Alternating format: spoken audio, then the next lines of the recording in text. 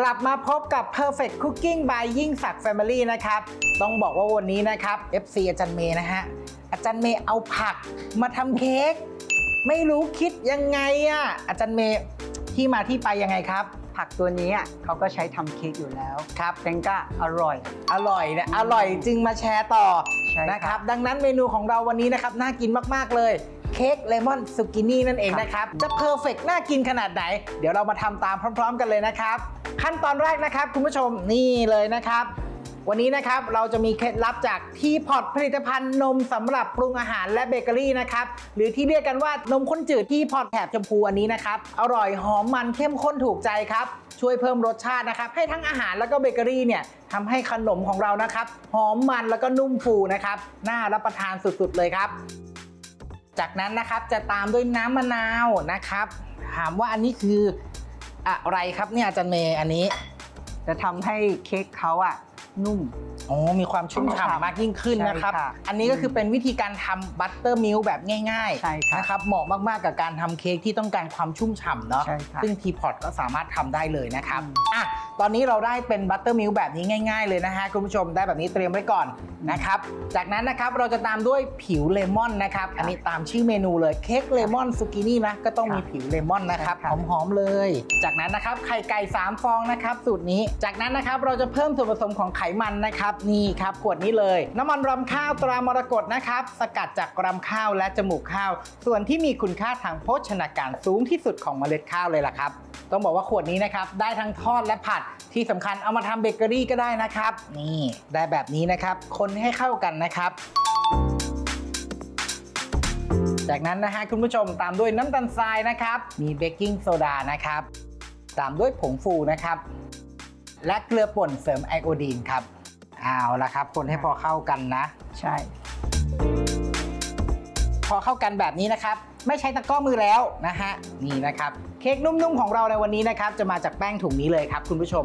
แป้งสาลีชนิดพิเศษตราบัวหิมะนะครับ เป็นแป้งสาลีชนิดพิเศษ เนื้อแป้งเนียนละเอียดสีขาวนะครับ เนื้อเบาแล้วก็กลิ่นหอมด้วย เนื้อเนียนมากๆครับเหมาะกับการทำเค้กแล้วก็เบเกอรี่นะครับแบบที่อยากได้แบบเนื้อเค้กแบบเบาๆนุ่มๆฉ่ำอันๆนะนี้อันนี้ฉ่ำได้เลยอ่าห่อนี้เลยได้เลยนะครับใช่ที่สำคัญของ TFM คุณผู้ชม ไม่จำเป็นต้องร่อนก่อนใช้ใช้ง่ายมากๆครับเค้กที่ใส่ซุกินี่มาเลย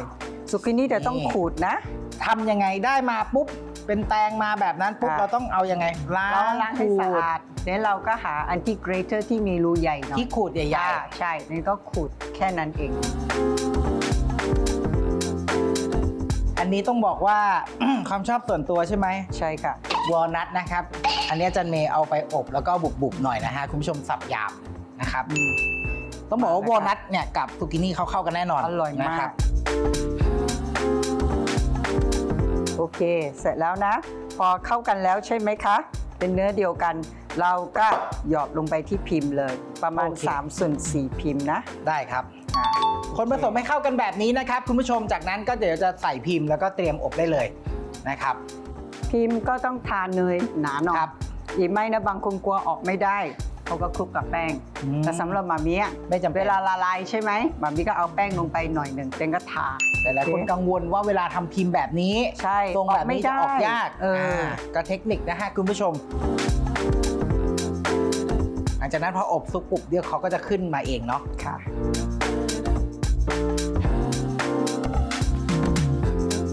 แล้วถ้าสมมติว่าผมหาซุกินี่ไม่ได้เลย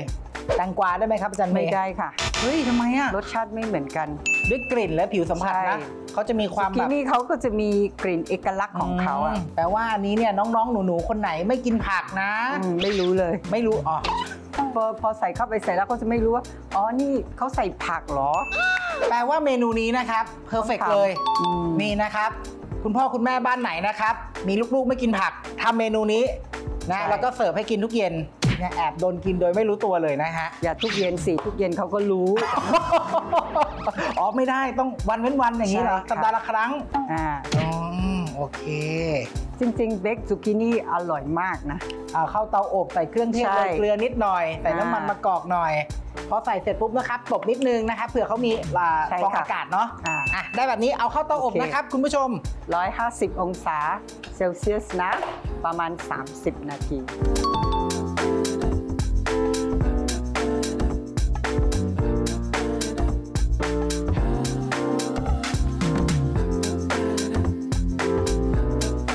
ครับคุณผู้ชมครับ ระหว่างที่เรารอตัวเค้กของเรานะครับอยู่ในเตาอบเนาะอีกหนึ่งกิมมิคเลยนะครับเมนูนี้เค้กเลมอนซูกินี่เนี่ยจะมีตัวไอซิ่งราด ขั้นตอนการทำก็ง่ายๆเลยสูตรฟรอสติ้งของอาจารย์เมย์อร่อยอยู่แล้วนะครับอันแรกเลยนะครับคุณผู้ชมน้ำตาลไอซิ่งนะครับใส่ลงไป จากนั้นนะครับจะมีเนยสดนะครับ อันนี้เป็นเนยสดที่อุณหภูมิห้องนะฮะ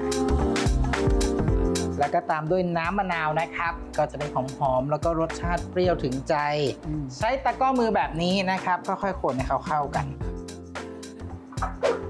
จับเลยขอบคุณมากเลยนะเนี่ยไม่ได้แบบนี้นี่แย่เลยนะเนี่ยไอซิ่งก่อนที่เราใส่เข้าไปต้องร่อนนะอืมอะโอเค are you ready อะอะแอมมาบอย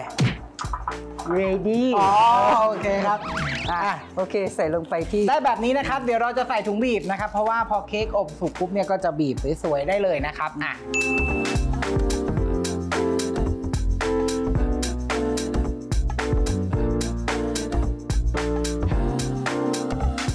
เอาละเป็นรอยัลไอซิ่งที่เข้มข้นมากๆเลยนะ โอเค ได้แบบนี้ปุ๊บนะครับ เดี๋ยวเรารอเค้กของเราอบสุกทิ้งไว้จนเย็นแล้วมาแต่งเค้กพร้อมๆกันใช่คครัรับบ เอาละครับคุณผู้ชมครับเค้กซูกินี่ของเรานะครับออกมาแบบนี้เลยนะฮะวางไว้บนตะแกรงนะครับ แล้วก็อันนี้ตัวไอซิ่งที่เราเตรียมไว้อ๋อบีบแบบนี้เลยแล้วเดี๋ยวเขาก็จะไหลลงไปใช่ค่ะนะฮะอันไหนไม่ไหลก็แอบเติมหน่อยค่ะ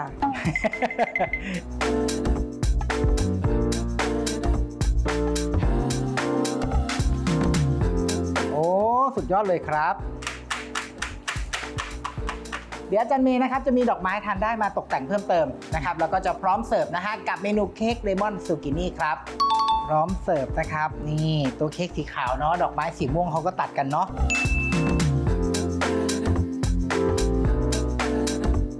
เรียบร้อยนะครับ คุณผู้ชมครับกับเมนูของอาจารย์เมย์แล้วก็เท็ดดี้ในวันนี้นะครับ ต้องบอกว่าน่ากินแล้วก็ perfect เลยนะครับ กับเค้กเลมอนซูกินี่ครับ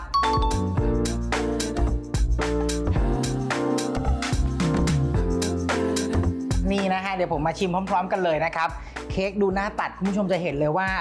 เขามีความแบบฉ่ำอะดูรู้ว่าเค้กดีนะครับ แล้วก็ไอซิ่งด้านบนด้วยก็น่ากินมาก ๆ นี่นะครับ คุณผู้ชมครับเค้กน่ากินมากๆอืมโอ้โห คุณผู้ชมครับ ต้องบอกเลยนะฮะว่าตัวเค้กดีมาก ๆ เลย สัมผัสแรกเข้าปากเนี่ย ตัวไอซิ่งด้านบน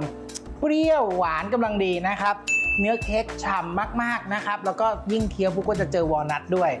ได้เจอแบบมีตุกินี่เล็ก ๆ นะ ยิ่งกินยิ่งอร่อยจริง ๆ ครับ ต้องบอกเลยนะครับว่าเค้กเลมอนซุกินี่สูตรนี้ของอาจารย์เมย์นะครับเท็ดดี้พิสูจน์แล้วอร่อยจริงนะครับ ยกนิ้ว perfect เลยครับ